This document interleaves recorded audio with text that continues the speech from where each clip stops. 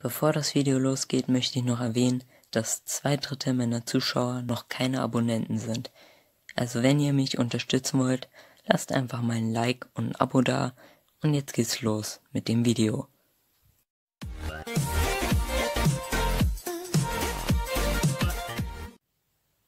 Willkommen zurück zu Sin City Build. Ja, hier sind wir im Ladescreen, weil ich vorher noch etwas erwähnen möchte. In der letzten Woche, also ich habe es nicht unbedingt aufgenommen, aber da waren ja auch ähm, die war auch der Bürgermeisterwettbewerb. Ähm, ich hatte grottenschlechte Aufnahmen, äh, grottenschlechte Aufgaben und habe deshalb auch nichts aufgenommen. Ähm, ja, jetzt beginnt ein neuer äh, Pass, ein neuer Wettbewerb und da werden wir auch gleich mitmachen. Und ja, hier sind wir in unserer klitzekleinen, wunderschönen Stadt. Hier haben wir noch was von Maxis Man. Der verkauft mir hier super günstig eine Wu-Batterie. Und hier haben wir noch Post. Hallo Bürgermeister. Die Bürgermeister-Pass-Saison endet bald. Bleiben nur noch ein paar Tage, um wertvolle Diamantpunkte zu sammeln und starke Belohnung zu erhalten. Also schließen Sie weiter diese Aufga äh, Aufträge ab. Beachten Sie, dass die temporären Extralagerbelohnungen dieser Saison mit der nächsten Saison auslaufen. Das hatten wir bisher noch nicht, das ist eigentlich nur im Goldpass mit drinne. Es regnet Diamantpunkte. Oh Junge, die Bürgermeisterpassbelohnungen waren nie einfach zu erhaschen. Diese Woche bringen alle Aufträge doppelte Anzahl an Diamantpunkten. Ja, das ist natürlich sehr schön. Und der Pass, der, äh, der Auftrag, der Wettbewerb, der läuft schon. Hier seht ihr es. Da haben wir was mit Geld verdient, das ist sehr schön. Ansonsten haben wir noch nicht wirklich was besonders Gutes. Frostfjordgebiete könnten wir mal machen. Gucken wir mal kurz auf die besten Liste. Okay. Der erste Platz hat was zum. Okay. Äh, 60.000. Da hat jemand mehr als genug Zeit in seinem Leben. Also Frostfjordgebiete könnten wir uns mal angucken und Simoleons verdienen. Außerdem Tokyo Town Gebäude. Okay, gucken wir uns erstmal Tokyo Town an. Nein, das ist lateinamerikanisches Gebäude. Das habe ich im letzten Pass, äh, im letzten Wettbewerb gemacht. Das hier klappt nicht. Ich habe zu wenig Katzen. Dann bauen wir einfach ein neues, ein Tokyo Town Gebiet hier. Und gucken dann mal. Schuhe und Fischsuppe brauchen wir dafür. Gut, dann sind Schuhe dran. Plastik, Kleber, Stoff. Ich sammle einfach hier gleich alles ein. Dann habe ich hier so eine Art Zugang. Dann brauche ich noch Kleber. Hoch. So, Textilien.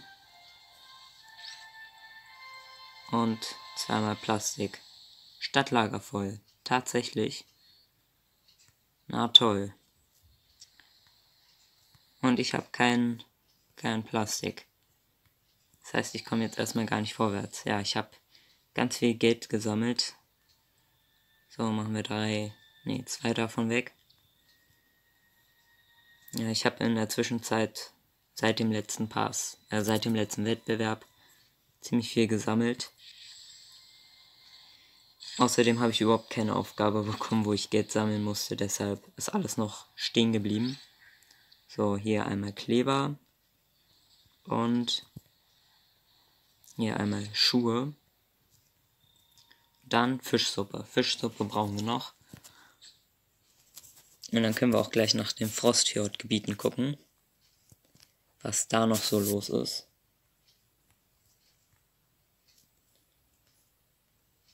Ach übrigens, hier habe ich ein äh, Nordlicht-Forschungsinstitut gebaut. Ähm, ich kann es leider noch nicht verbessern. Es kommen ja häufig so eine Aufgaben wie Attraktion verbessern. Und Dafür muss ich dann halt auch noch Geld sammeln. So, Fischsuppe. Gemüse und zwei Kochutensilien. Oha. Also ein Gemüse, zwei Kochutensilien. Okay, ein Brot, ja. Naja. Ja, gucken wir uns danach an. Erstmal Tokyo Town Gebiete machen.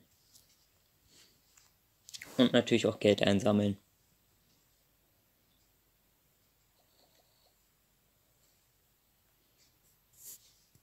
So, also Kochutensilien. Was brauchen wir denn dafür? Wir brauchen eine Menge Plastik. Dafür haben wir natürlich nicht genug. Und Gemüse. So, zwei davon. Und ein Gemüse. Ich muss mir merken, noch einmal Kochutensilien herzustellen. Dann können wir das jetzt auch als Auftrag annehmen.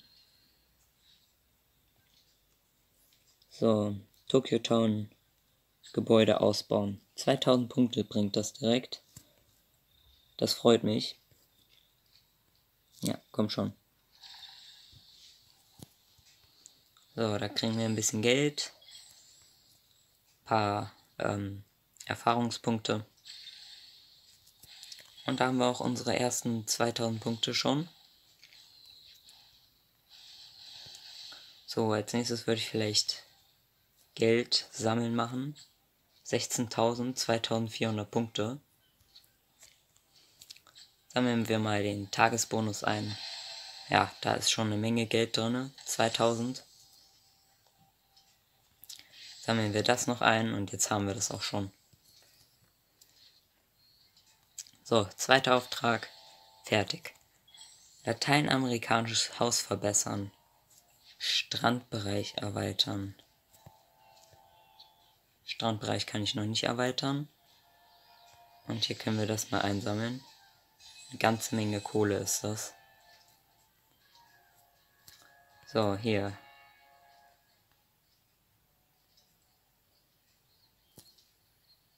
Brett und Grill. Für Grill brauche ich das da. Okay. Dann würde ich sagen, mache ich hier einen Cut und äh, stelle mal noch zwei Kochutensilien her. Also bis gleich. So, da bin ich wieder. Ich habe das jetzt hier alles hergestellt. Oder alles bis auf den Grill.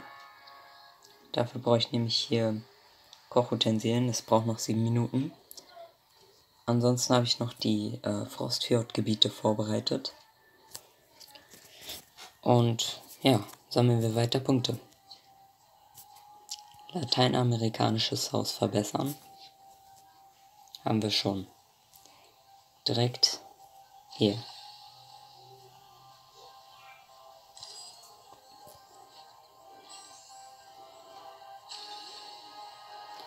Oh, Omega Haus machen wir auch gleich. Erstmal Frostfjord.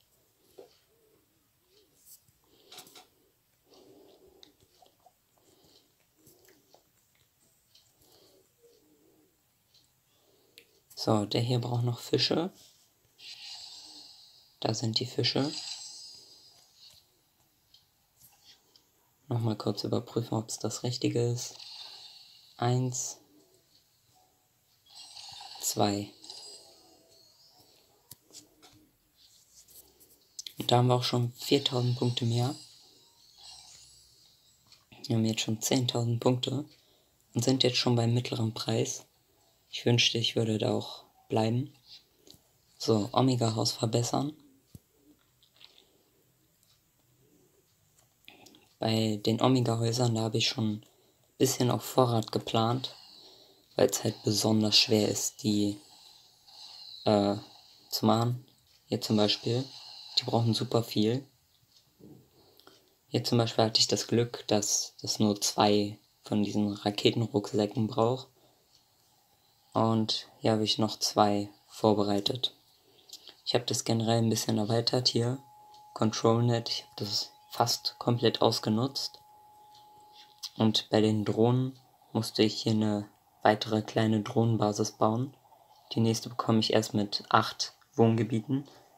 Das heißt, das ist auch gleich da. Und das da bekomme ich erst mit 16. Genauso ist das hiermit. Da brauche ich auch 8 und hier brauche ich 16. Also, dann machen wir 1. Leider nur 1. Wären es 2 gewesen, hätte ich natürlich auch direkt mehr Punkte holen können. Machen wir erstmal das da. Damit ich wieder Platz für noch eins davon habe. Oh, Müllentsorgung wird knapp. Recyclingzentrum. 9000 brauchen wir. So, sammeln wir erstmal den Kleinstkram ein. Und alles, was so knapp über 1000 ist. Das andere kann ich noch später einsammeln. Reicht das schon? 5000? Nee. Dann brauche ich noch was für 4000. Machen wir die beiden einfach. Das sollte jetzt aber reichen. Ja, jetzt reicht's. Recyclingzentrum. Noch eins. Und fertig. Ich guck mal kurz. Oh, hier sind wir auch schon dicht am Limit. Und das steht nicht ganz so, wie ich es haben will. Hier fehlt noch ein bisschen. Da auch. Ja, da haben wir erstmal genug. Feuerwehr locker alles abgedeckt. Polizei auch. Ja.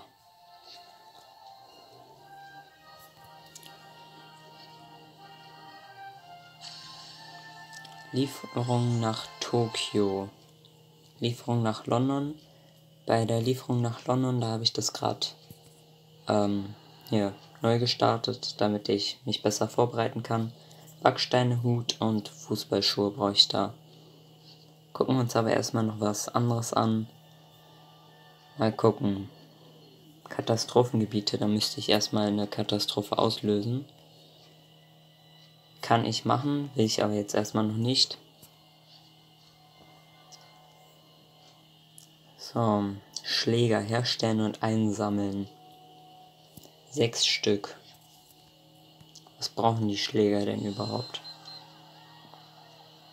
Eigentlich ziemlich einfache Materialien. Und ich könnte es machen. Ich habe aber kaum Geparden-Tempomarken mehr. Nee, erstmal nicht. So, gehen wir mal alles durch. Neo-Simoleons verdienen. Nein, das habe ich schon mal versucht. Es hat nicht geklappt. Es war grauenvoll, genauso wie mit Blatt-Simoleons. Einfach komplett vergessen. Äh, Samen herstellen, 57. Das werde ich nach der Folge machen. Omega-Kanister produzieren und sammeln. Na, das Lager ist hier gerade voll. Aber wir können ja hier mal das Omega-3 öffnen. Was ich mir extra für die Folge aufbewahrt habe. So, erstmal die Omega-Sachen. Und dann die ganzen anderen Sachen. Und jetzt habe ich den Überblick komplett verloren. Egal, machen wir hier noch ein Omega. Nicht genug Simoleons. Ah, okay. Kann ich gar nicht. Jetzt gerade nicht. Dann verkaufen wir nochmal die paar Sachen, die wir hier zusätzlich haben. Zum Beispiel hier den Stuhl, Käse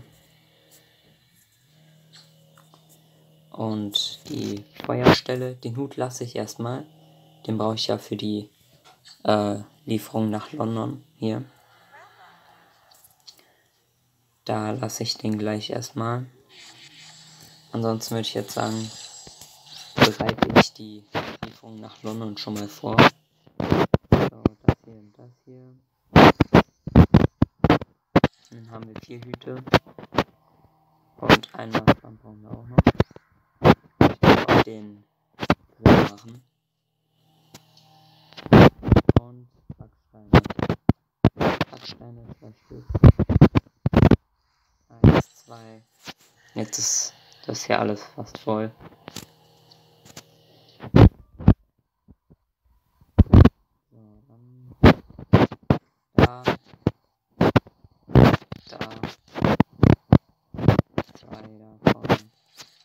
davon dann sollte jetzt alles wieder werden können. So, das braucht noch eine halbe Minute.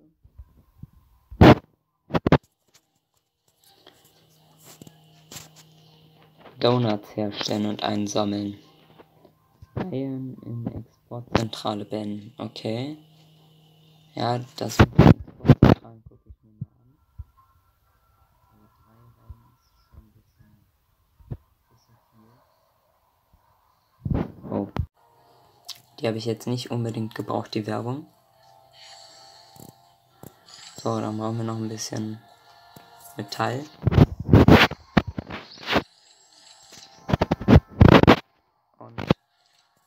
kommt der Grill. Rein in Exportzentralen. Das gucken wir uns mal an. Das Gute an dieser Aufgabe ist, man kann es aufteilen.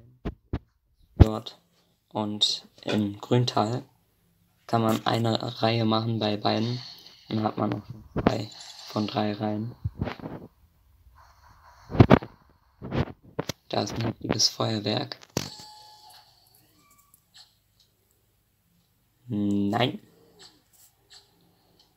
Drei Melonen, äh, dreimal Obst und dann die ähm, lateinamerikanischen Gegenstände.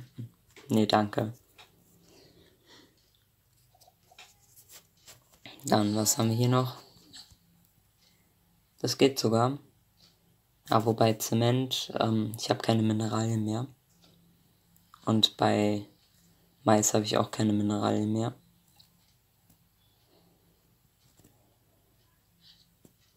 würde das trotzdem ganz gerne machen, aber ich glaube, ich lasse das jetzt erstmal. Ähm, Katastrophen gegen das Monster wäre da noch.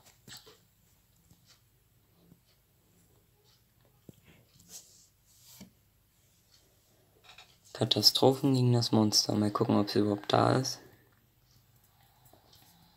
Nein. Wann kommt es? In neun Stunden. Also viel zu spät.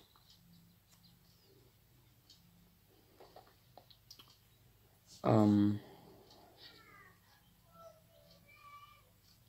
ja, das, das wird jetzt alles nichts mehr. Aber die Katastrophengebiete mache ich trotzdem nochmal. Also messen wir hier Erdbeben 3.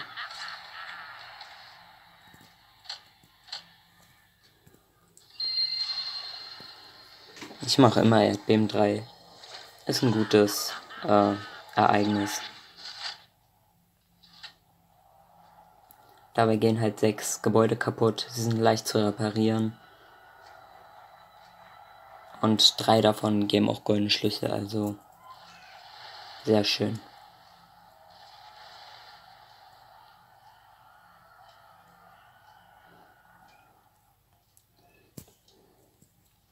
So, das gibt einen goldenen Schlüssel. Drei Bretter. Ähm, okay. Es gibt wieder einen goldenen Schlüssel, nochmal goldene Schlüssel. Zwei Nägel, Hammer. Und ähm, eingelegter Fisch.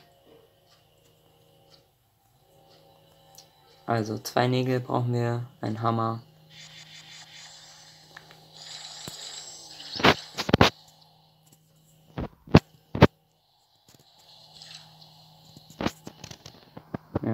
leider komplett voll. Machen wir erstmal den Hammer. Dann noch eingelegten Fisch, Gemüse und drei Bretter.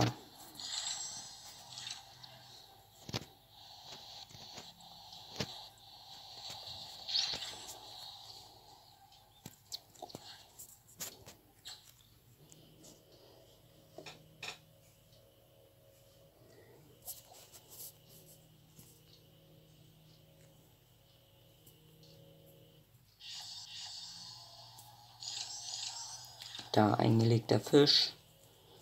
Drei Bretter brauchen wir, zwei Nägel. Ansonsten hätten wir dann alles.